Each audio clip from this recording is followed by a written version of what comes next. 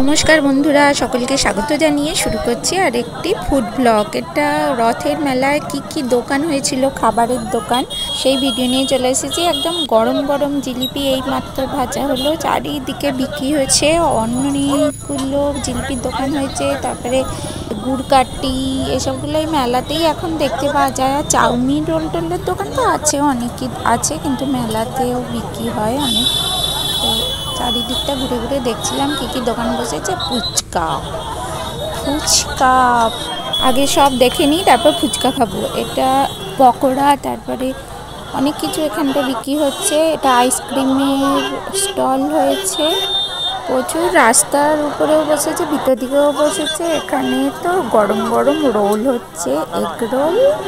এই মেলাটা রথের দিন বসে মানে সোজা রথের দিন বসে আর উল্টো রথের দিন শেষ হয়। এখানে অতদিন ধরে একভাবে মেলাটা চলে গ্রামে গঞ্জে যেমন মেলা হয় অনেক দিন ধরে। এখানে ঘুগনি গরম গরম আর এখানে একদম গরম তেলে পাঁপড় ভাজা হচ্ছে। এই পাঁপড়গুলো কিন্তু খেতে খুব ভালো লাগে।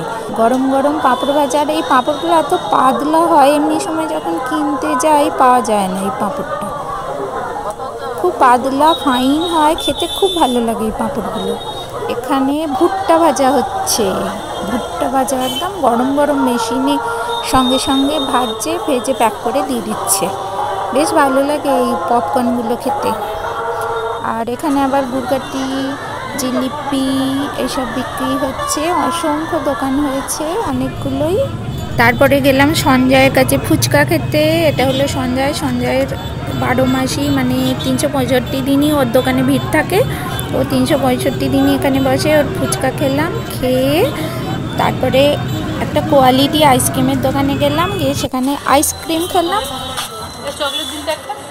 আমি নিয়েছিলাম একটা ম্যাগনাম ম্যাগনাম আইসক্রিম নিয়ে খেতে খেতে বাড়ি চলে এলাম। আর জিলিপি কিনে নিয়েছিলাম। জিলিপি কিনে সেটা বাড়িতে পরে খাব বলে কিনে নিয়ে আমরা বাড়ি চলে এসেছিলাম। তাহলে এই ব্লগটা এখানেই শেষ করছি। সকলে ভালো থাকবেন, সুস্থ থাকবেন এবং অসংখ্য ধন্যবাদ জানাই ভিডিওটি দেখার জন্য।